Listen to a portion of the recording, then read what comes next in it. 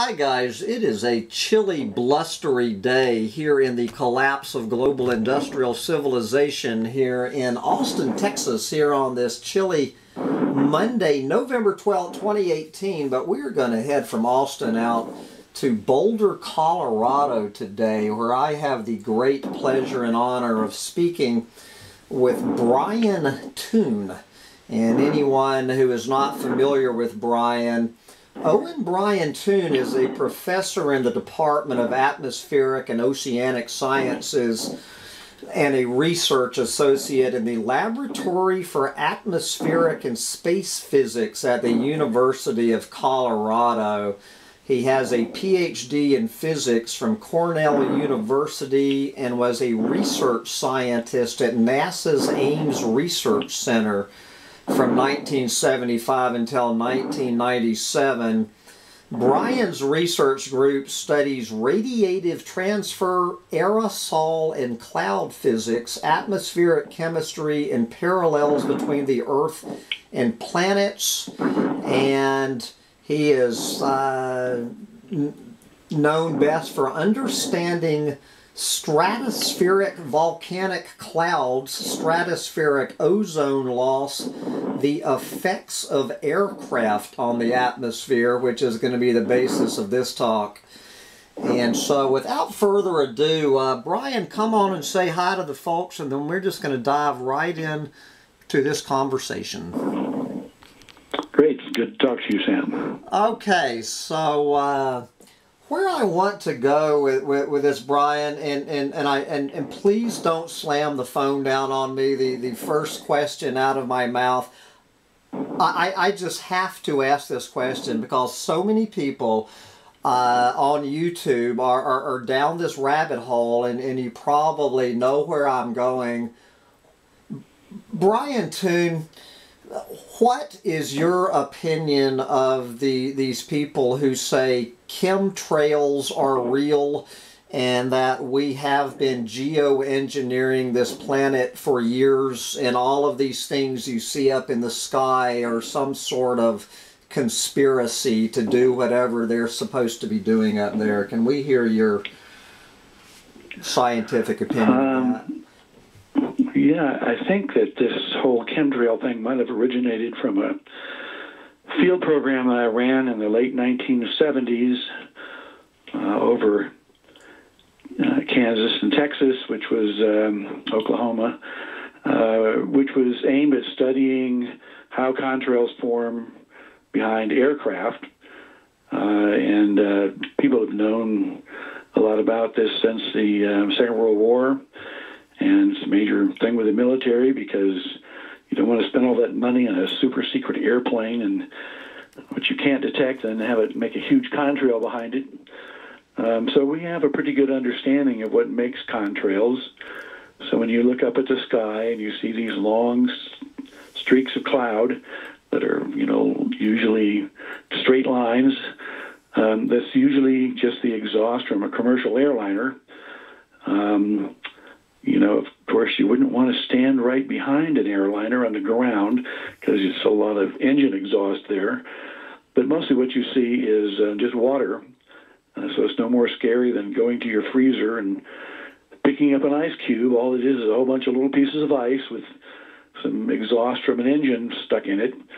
Um, it certainly doesn't fall directly on you. I mean, this whole thing doesn't make uh, chemtrails makes no sense at all because if you look up and you see an airplane flying overhead, they're usually 30 or 40,000 feet above the ground.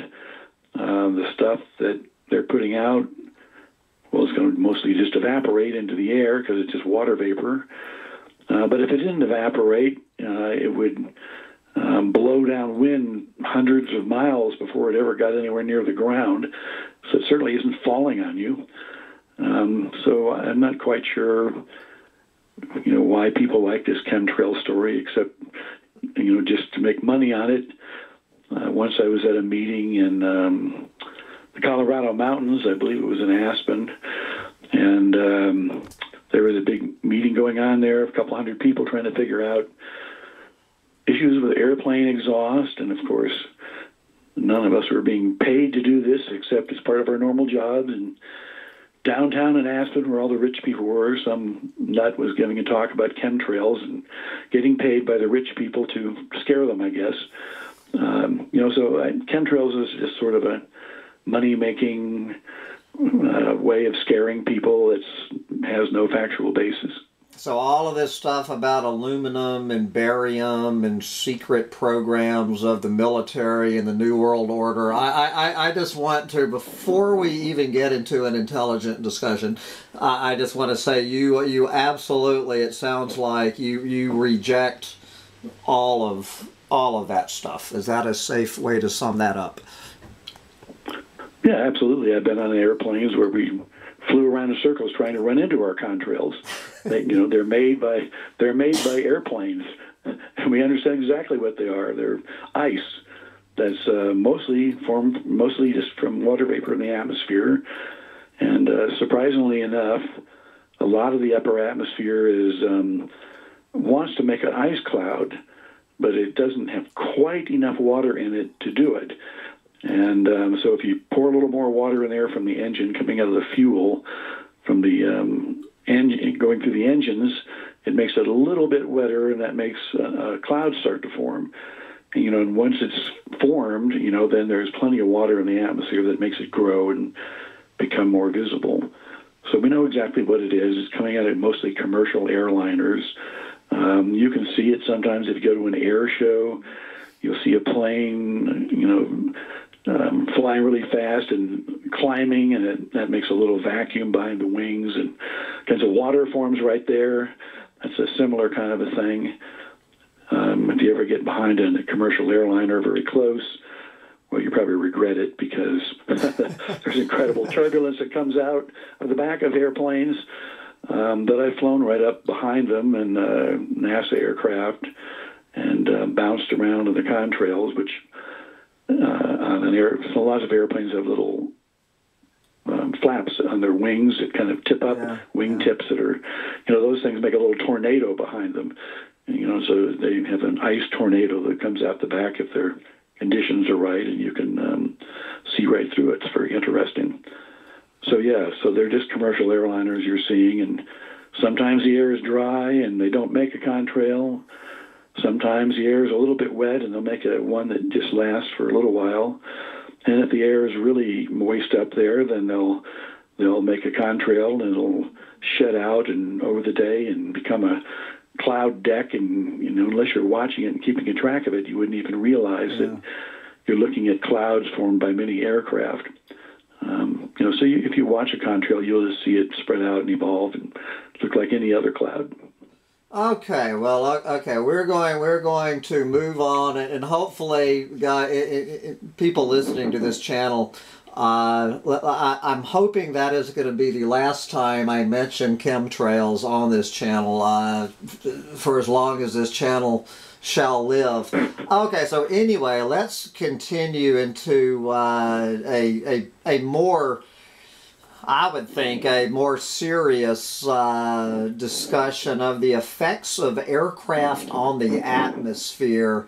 And that, of course, is uh, the, the geoengineering, the solar radiation management. Uh, so I, I, see that you were on this workshop uh, that, that I was that I've been reading about. So obviously you are a man with, with your background I, who should be a, a, knowledgeable source to talk about solar radiation management. Is that is that safe to say?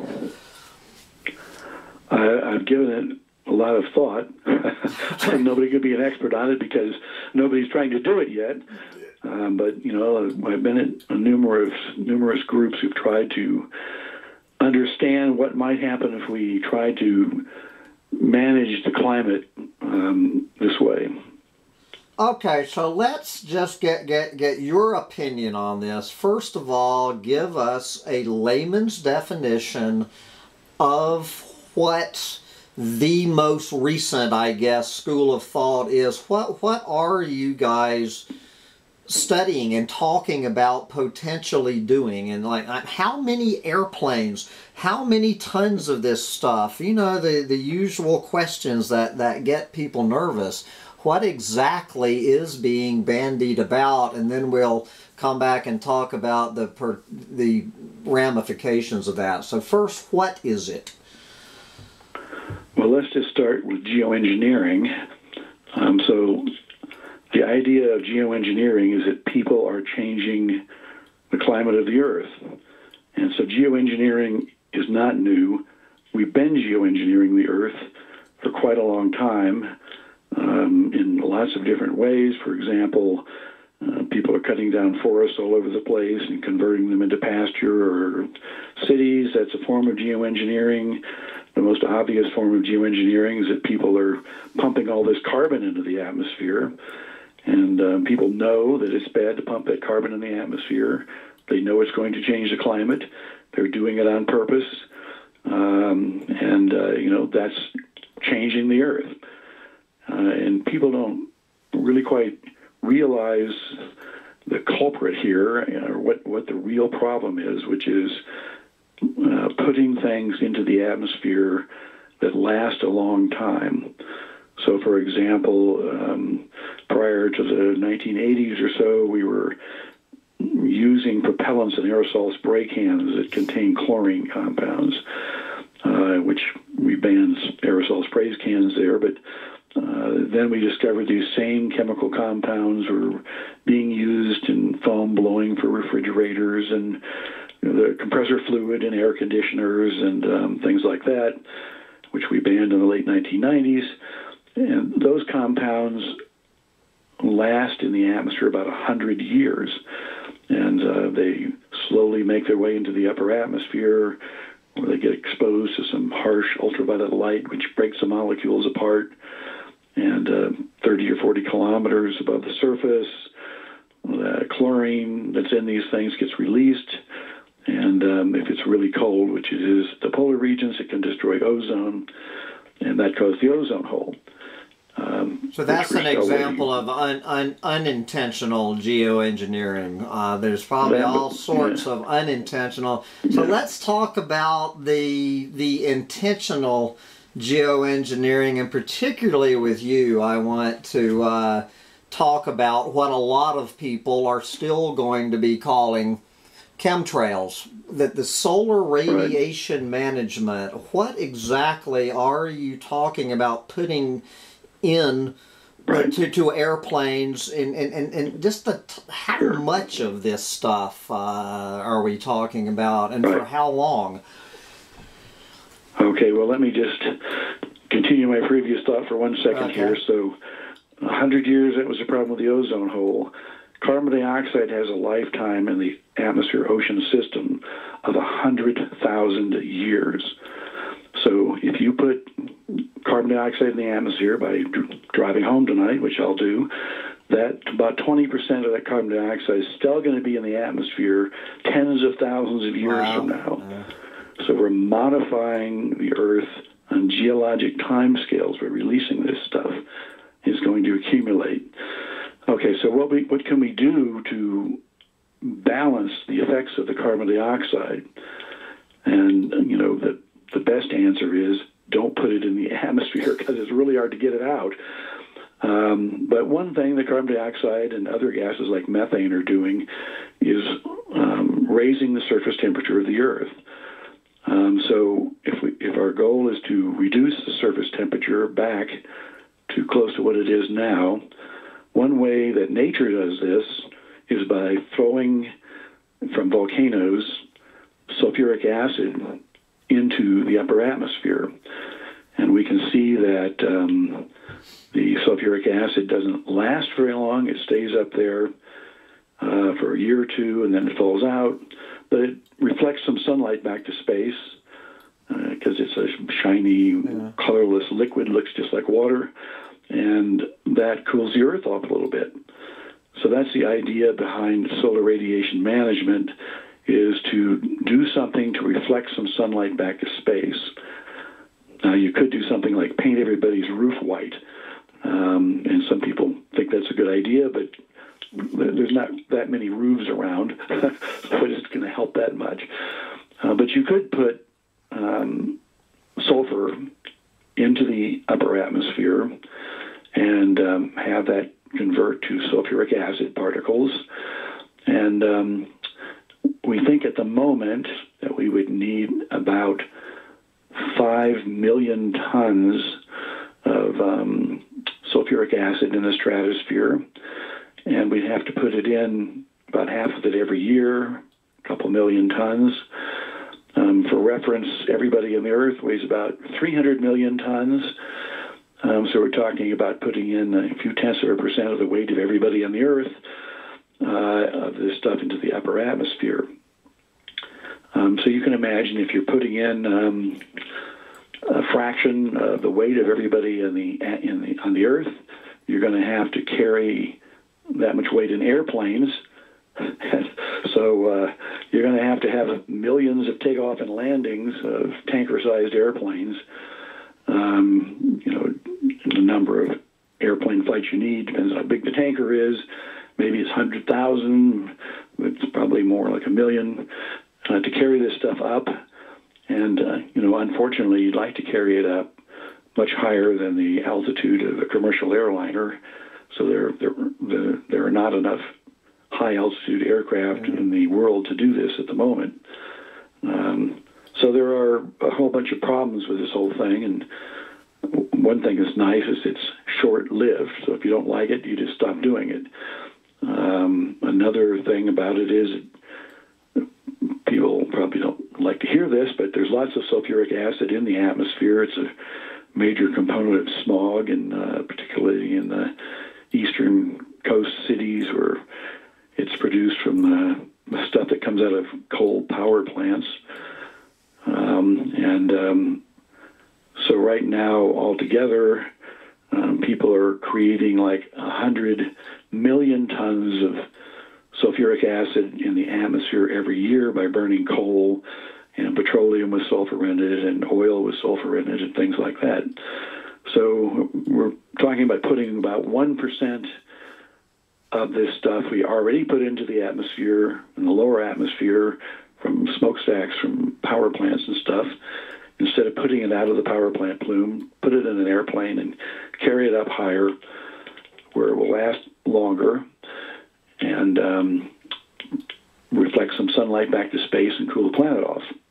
So one of the, one thing you mentioned is if we don't like it, we can just turn it off. But one of the th- things that I am that, that I've been reading and, and and you know I'm just a layman, but I do quite a bit of reading on this subject, and I'm reading all the time is we can't just turn it off. That once the toothpaste comes out of the tube, we can't put the toothpaste if we, if we if we try to turn it off the temperature just like in a period of a couple of i don't know weeks or months is just going to skyrocket uh, what is is that a myth yeah, well no actually well in the first place you can put the toothpaste back in the toothpaste tube in fact my wife recently did that just to demonstrate it can be done uh, but nevertheless yeah, that's the problem with this, and one of the reasons I think this will never happen is that um, people will become addicted to it. Yeah. They'll think, oh, well, we, we don't have to do anything now uh, about releasing carbon to the atmosphere. Yeah. We just keep burning up all the coal and oil uh, because we can counter it with this sulfuric acid. But the problem is the um, coal burn, the CO2 released from the coal and petroleum, has this 100,000 year yeah. lifetime. Yeah so it just keeps adding and building up and building up. The sulfate just falls out of the atmosphere and gets washed out by rain. It doesn't build up. So, you know, by the middle, by the middle or the end of this century, the carbon dioxide greenhouse effect is going to become so large that we have to start putting 100% yeah. of all of the sulfur that we're producing by burning coal into the upper atmosphere. Um, so this is almost certainly impractical. Um, and so even the most ardent geoengineering enthusiasts say, well, you know, sometime late in the century, to keep the planet from getting too hot, we'll have to start removing the carbon dioxide from the atmosphere, which is possible that that, that, that can be done, but probably very costly and um, you know that the, people don't really realize the amount of carbon dioxide they're putting into the atmosphere. The average American's putting about five tons of carbon a year into the atmosphere, not personally, of course, but somewhat through their car emissions, but mostly through uh, industrial processes and power generation. And, you know, so if you put that out there, um, it's going to end up as even more weight because you have to add some other molecules or atoms in there to convert it to some solid form so you can bury it. So you end up having to bury about an elephant or two in your yard somewhere every year to keep up with these emissions. Um, so I don't have a small yard, but it isn't big enough for burying a lot of elephants. Uh, and in fact, the average person on the earth, the the area that each person has to share around the world is only about two football fields. Uh, you know, and that includes some yeah. Antarctic ice and some uh, glaciers and some deserts and uh, some trash dumps in your house and where you grow your food and everything else. Uh, so trying to bury a bunch of elephants out there is uh, not going to be that easy to do. Um, so uh, trying to take this carbon dioxide out of the atmosphere and bury it somewhere, uh, it might be possible to do it, but it isn't going to be easy to do it. Um, so better just to not put it up there in the first place. Uh, so there's a lot of other problems with this uh, idea of countering the greenhouse effect with geoengineering. So one of them is that carbon dioxide dissolves in the ocean, and um, unfortunately, it makes it an acidic solution. It's like Coca-Cola, or you know, that's what happens when the bubbles that are coming out of your yeah. Coca-Cola or whatever carbonated drink you like is carbon dioxide that's in, in there in the drink, which eats up your teeth. Uh, it's an acid. And uh, if you put it in the oceans and it builds up, it'll start eating up all the shells of um, little creatures in the ocean um, and destroy coral reefs. Um, so that's another problem with the solar management idea is that it it doesn't stop that. It doesn't prevent the ocean from becoming acidic. Um, and uh, so that's something one has to deal with somehow um, the acidity of the oceans from the rising CO2. Uh, the other problem you have to deal with here is that um, if you want to do geoengineering, um, you have to um, uh, have a um, international set of agreements to allow this to be done. And there are probably people who don't want the Earth to stay as cool as it is. You know, for example, the largest country in the world geographically is Russia, which is a very high latitude country. A lot of it's frozen, um, you know, difficult to deal with. And uh, I'm sure that they would be happy to have it warmer. Uh, they'd probably be happy to have a huge coastline on the Arctic that was ice free, where they could um, tap the resources of the Arctic Ocean. Uh, and, you know, so the probability that you could get the world to agree to geoengineering is not very great, in my view. Um, so, why are scientists thinking about this? Uh, and the reason is that um, there is some concern that um, politicians will fail to act and um, solve this problem, um, and uh, that the Earth will start experiencing um, problems because of the warming temperatures that um, you know that we probably will have even more forest fires than we're having now. We'll have a longer period of time when there are forest fires, um, and uh, we'll have more intense hurricanes, as far as we can tell, um, because of the warming ocean surface temperatures. Um, but the worst thing that could happen is that we could start warming the polar caps enough that um, they will start melting significantly, and the Earth normally doesn't have polar caps. So if you go back through geologic history in the last 600 million years uh, when complex organisms have been on the planet, 90% of the time there haven't been any polar caps.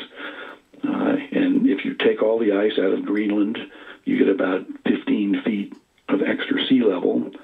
That will eliminate the state of Florida. Uh, if you take the Antarctic ice, you'll end up with 300 feet of extra sea level, which will eliminate a large fraction of the United States. Uh, you know, and as it is, people in Miami are experiencing problems with flooding. Uh, I was recently in Venice, Italy, which is a really beautiful but very surprising place. There's no cars there. It's an island, uh, a series of islands, and all the houses are about two or three feet above sea level. Uh, you know, they periodically already have flooding where the whole place floods. You know, that, that city is going to disappear. Uh, and that's the fate of most of the coastal cities around the world, that they'll become flooded. Perhaps not in the near term. Um, the best predictions we have at the moment are that by the end of this century, the sea level will be about three feet higher than it is now, which is mostly because of thermal expansion because the temperature is getting warmer. Um, and you know the you know so that's going to be not very good for lots of places in um, Florida, for example, in Louisiana. Uh, you know, so the, the ice caps aren't going to melt overnight. It may take hundreds or even thousands of years for them to melt. But many people are concerned that once you start them melting, you won't be able to stop them. Uh, you know, the Earth obviously is perfectly happy to not have polar caps, and, uh, and you know if they start melting, and we can't just stop what we're doing and have them recover, then we will have set in process something that will, you know, destroy all of our cities over the next centuries.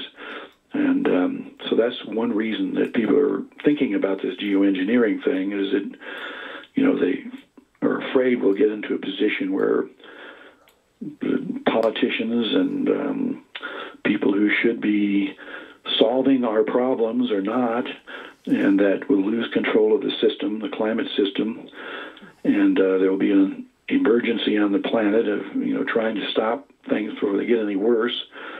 And uh, geoengineering then may be the last possible way you can stop things from getting worse. So, do you think it's? Uh, I, have been predicting for years that it. To me, it seems like it's a for it's a foregone conclusion that uh, it's going. It, it, it's going to happen uh, sooner or later. There, there's just with the way things are building on this planet. Do you think at this point it is a foregone conclusion that we're going to go this direction? Uh, you mean warming?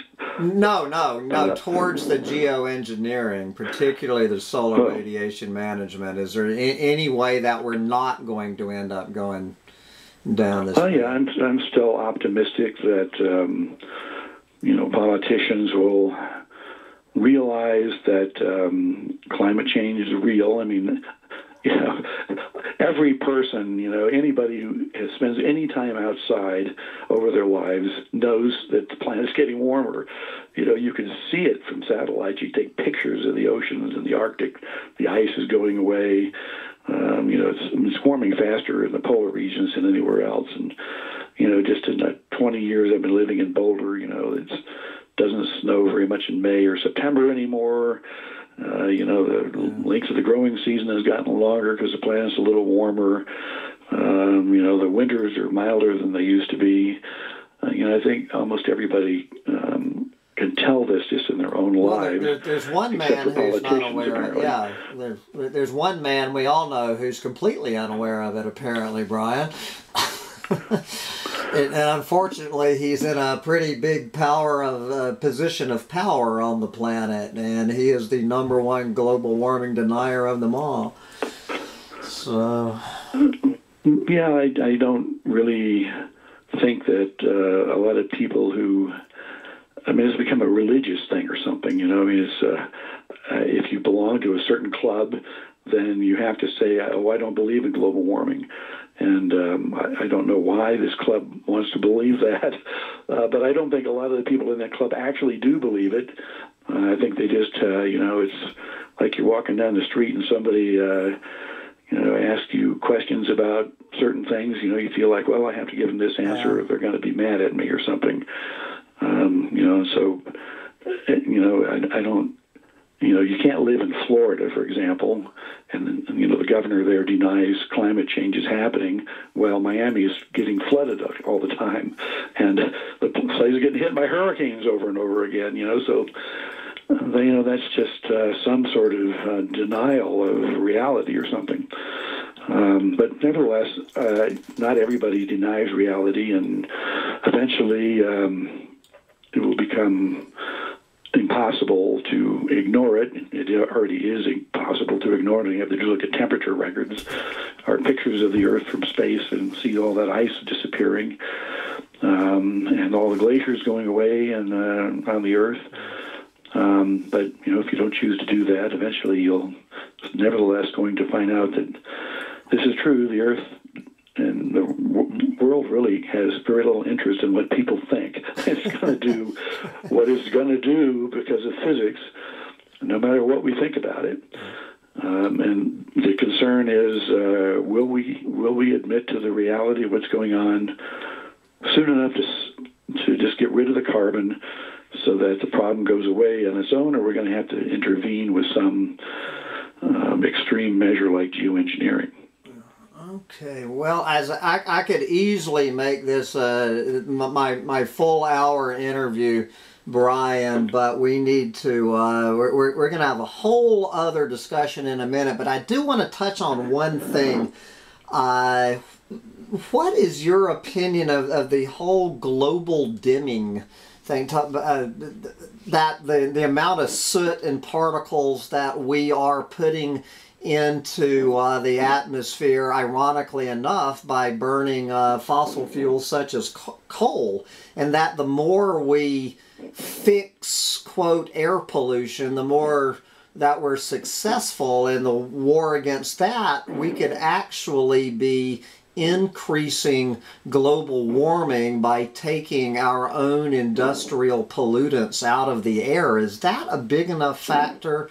To actually affect global temperatures, in your opinion? Is that a valid fear or is it an overblown? Well, um, in 2013, I um, led a NASA field program based in Houston uh, using a couple of large NASA aircraft. And we flew around the southeastern U.S. and actually in part of the western U.S. as well, looking at smoke. But we flew around the southeastern U.S. looking at the um, amount of um, sulfur there and the amount of uh, other yeah. chemicals that were released from um, industrial um, things and uh, power plants, and they've gone down strikingly. Um, so the United States put emissions controls on um, sulfur dioxide emissions and nitrogen oxide emissions and things like that, largely because of acid rain um, about 20 years ago, and those abundances of those things had fallen dramatically. And so the United States has become much cleaner. If you go to Los Angeles, it's um, much cleaner than it was, uh, you know, 30, 40 years ago. Uh, things are getting worse in the West because of all the fires that we're having, so there's a lot more smoke in the summer. But generally, the United States is cleaning its act up, um, and uh, but the rest of the world well, Europe has also done the same thing. But there are significant problems going on in China and India. Yeah, those are the two and, main ones. Yeah. So th- those are the major emitters now. Uh, so we're kind of at a point, I think, where we will be reducing all those emissions globally. Uh, you know, the Chinese are, you know, it's, it's estimated that a million Chinese die every year early, prematurely, because of all the air pollution, which is just unbelievable if you're there. And of course, there's still tens of thousands of Americans dying every year because of breathing air pollution from power plants and things like that. Um, so, so I think it is true problem, that yeah. as you put on these emissions controls, you'll push down the amount of solar dimming, as you call it, and um, that will make the temperature rise even faster. than it has been. So you do agree with that that theory? It's not just some wacky, uh, d- d- just wacky theory out there. It, it, so it is a real phenomenon in your. Is a real thing that if you the air pollution is reflecting light back to space and cooling the planet, which is going the opposite direction from the global warming from um, greenhouse gases. And you know the air pollution has a really short lifetime, at only a week or something like that. Um, so every week, the air pollution emitted globally, you know, it counters a significant fraction of the greenhouse warming from the yeah. beginning of the industrial era hundreds of years ago. Um, and uh, and the air pollution has such a short lifetime, we're eliminating it because nobody wants to breathe it, and that allows the greenhouse gases to heat the planet even faster.